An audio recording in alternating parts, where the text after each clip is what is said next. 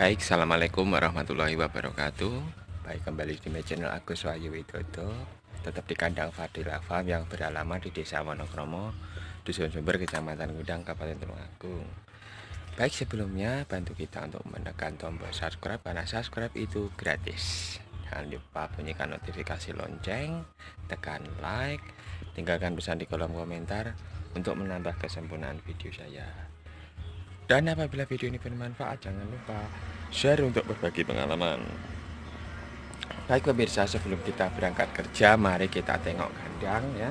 Bagaimana marmut-marmut kita yang diliarkan, bahkan kelinci-kelinci kita yang diliarkan ya, diliarkan sehingga mereka betul-betul terpantau dari umbarannya ya dari sini ya karena ini sudah banyak yang di tembok jadi insya Allah aman dan tidak ke mana-mana gitu ya jadi nanti tanpa menampakkan muka saya langsung menuju ke sasaran. Oke ikuti terus.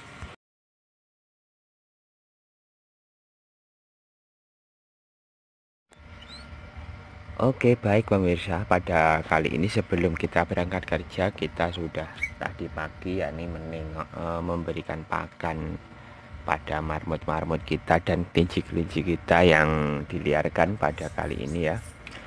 Nah perlu kita ketahui apa yang disarankan oleh teman-teman baik dari teman-teman marmut maupun teman-teman di dunia perkelincian terutama ya. Nah, di sini kita juga mengulas sedikit tentang bagaimana reaksi marmut atau kelinci yang kita umbar liarkan. Nah, pada kali ini teman-teman ini memang sengaja kita buat seperti ini karena ini musim kemarau ya.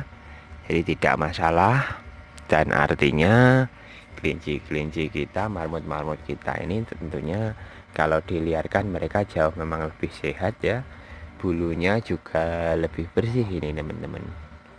Dan alhamdulillah kelinci kita ini sebagian sudah sehat ya.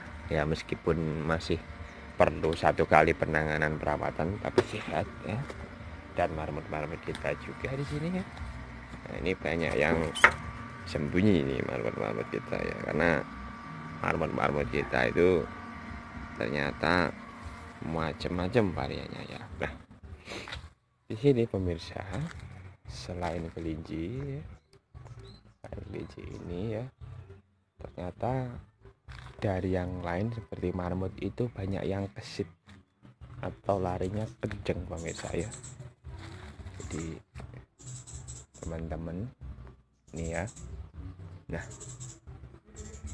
ini adalah tempat kelinci-kelinci kita makan ya. Kelinci kita makan dari sini. Nah seperti ini jenis lokal ya. Ini jenis lokal yang mungkin sudah sudah sedikit berkurang ini skebisnya nah, ini sudah sembuh teman-teman ini ya. Daripada yang dulu ini berindil tapi ini sudah sembuh ini ya. Total sudah sembuh tinggal masa pemulihan ini teman-teman ya. Ini tinggal masa pemulihan dan ini bersih teman-teman. Dan tidak ya istilahnya sangat berkurang jauh banget. Nah ini ya. Berkurang jauh. Nah, ini. Udah banyak yang rontok sendiri ini ya. Dan kelinci kita yang jenis PC ini ya. Ini ada keluarga baru juga ya. Keluarga baru ini yang BC teman-teman. Tahu jumlahnya tiga ke mana? Enggak tahu ya ini ya. Ini jenis BC ini ya. Hmm. tuh teman-teman ya. Nah, ini teman-teman jadi kalau pelihara kelinci itu memang harus sangat betul-betul diperhitungkan ya semua resikonya ini ya. Nah, ini teman-teman yang lain nampaknya biji yang lain nih beristirahat. Ini ya beristirahat sehingga nah ini nah ini teman-teman.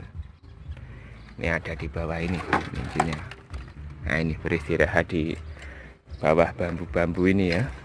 Hmm, apa-apa. Seperti itu pemirsa. Mari kita berangkat kerja. Semoga kelinci-kelinci kita ini selalu diberikan kesehatan di umbaran amin Terima kasih saya Gus Wahyu Widodo pamit undur diri dulu dari hadapan Anda. Terima kasih. Akhirul kalam.